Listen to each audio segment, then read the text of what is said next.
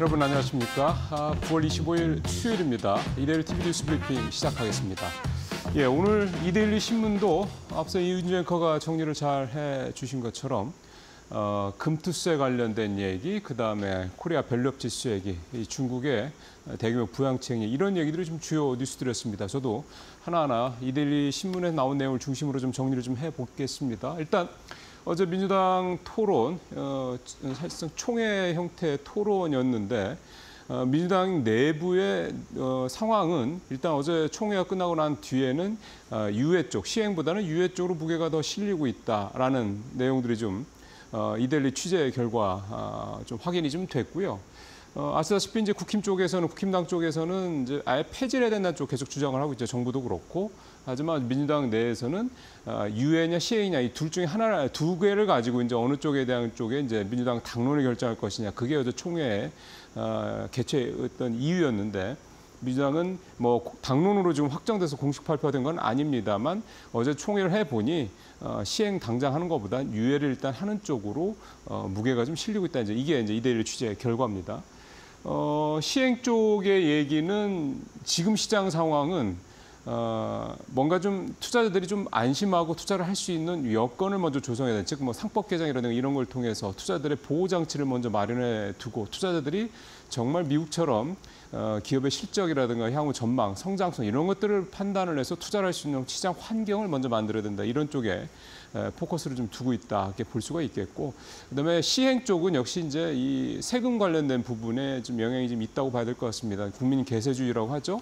어, 소득이 있는 곳에 세금이 있다라는 이 원칙이 이 금투세 주식시장에서도 어, 적용이 돼야 된다라는 주장.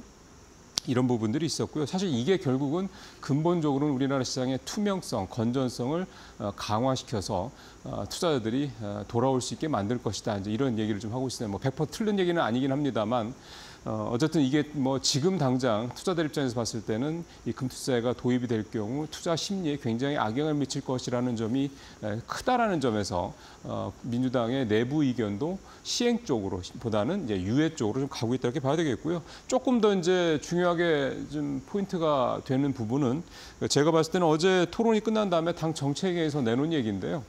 어, 상법 관, 개정 관련 등의 코리아 부스터 다섯 개 프로젝트를 이제 법률 제정 작업을 하겠다. 지금 민주당 상황에서 뭐 민주당이 법률 제정에서 어, 그 올리게 되면은 사실은 뭐 통과시키는 건 큰 어려움이 없기 때문에 그 내용이 보면 이사 충실 의무를 주주로 확대한다는 내용, 독립 이사를 의무화한다는 내용, 감사 분리 선출 문제, 대기업 집중 투표제 활성화 문제 등등등.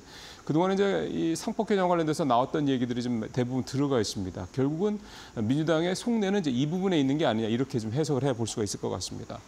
자, 두 번째는 코리아 밸류업 지수인데요. 어, 앞서 뭐 자세한 말씀을 이윤주 의원 해주셨기 때문에 저는 어, 기본적으로 코리아 밸류업 지수와 관련돼서 시장에서 나오고 있는 평가 몇 가지만 좀 말씀을 좀 드리겠습니다. 일단 삼성전자, SK하이닉스, 현대차 같은 종목들 우리가 익히 예상했던 종목들은 들어가 있는데 어, 심지어 고려아연도 들어가 있는 상황이고요. 그런데 이제 금융의 대장주인 KB금융이 빠진 거를 두고 좀 논란이 좀 계속 좀 될 것 같고요, 앞으로도. 그다음에 IT 쪽 종목들이 24개가 들어갔는데 좀 너무 많이 들어간 게 아니냐. 그런 지적도 좀 사실은 좀 나오고 있는데 사실 우리나라 뭐 대표 먹거리가 IT 쪽, 뭐 전기전자라는 이쪽에서 나오는 걸 생각하면 이것도 뭐 그렇게 어, 과하게 지적을 받을 만한 일은 아니지 않나 생각도 좀 들고 유가증권 시장 67개, 코스닥 시장 33개 어, 비중이 좀 서로 좀 한 3분의 2 대 3분의 1 정도 이렇게 돼 있다라는 부분도 있고 시가총액을 제한을 하다 보니까 어, IT 기업 비중이 높다는 지적이 있었고 그다음에 11월 달에 ETF 상품 출시할 계획이다라는 내용도 있었고 뭐 이런 정도의 내용들입니다. 중요한 거는 이 코리아 밸류업 지수의 기준을 있기 때문에 이게 어, 사실은 뭐 모든 기업들이 다 들어갈 수는 없고요. 또 그렇다고 해서 들어가 여기에 지금 100개 종목에 들어가 있는 종목들이 또 다 시장에서 자격이 있다라고 또 판단을 하기도 좀 애매하긴 합니다. 이게 기준점이라는 게 사실은 조금 다르기 사람마다 생각이 좀 다르기 때문에 그런 거고요. 중요한 거는 이 코리아 밸류업 지수에 들어가 있기 때문에 뭐 이게 이제 앞으로 뭐 주가가 시장의 주도주가 되고 주가가 뭐 계속 올라갈 것이다. 이런 식의 일종의 선형적인 접근은 조금 이제 위험할 수 있다. 이 부분을 조금 이제 우리가 생각을 해봐야 될 거라는 거고요.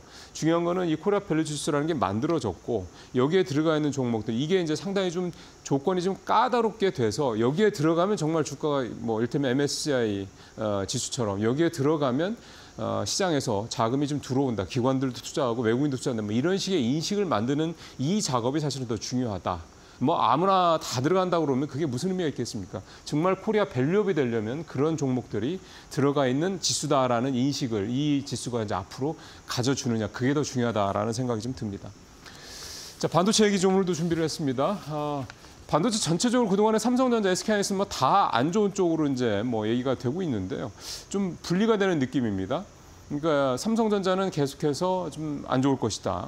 어, 결국 따지면 어, 그다음에 SK하이닉스는 괜찮을 것 같다. 뭐 이런 얘기가 되는 겁니다. 어, 그 불 이렇게 분류가 되는 기준점은 어, SK하이닉스로 대표되는 HBM 쪽은 수요가 여전히 좋다라는 측면인 거고요. 그러니까 SK하이닉스도 괜찮을 거다라는 얘기고 삼성전자는 아직도 HBM이 엔비디아의 이제 qual 테스트 통과 못 하고 있는 등 뭐 하여간 HBM 쪽에서는 별로 좀 메리트가 없는 거죠. 모멘텀이 없는 상황이고 결국 이제 legacy 쪽, 그러니까 범용 반도체 쪽인데 그쪽은 중국이 좀 많이 따라온 상황이기도 하고 이쪽이 좀 최근에 단가도 좀 지지부진하고 수요도 좀 줄어 수요도 좀 늘지 않고 있죠. 그러다 보니까 어, 삼성은 계속 안 좋을 거다 좀 이렇게 얘기를 하고 있는 상황이고요.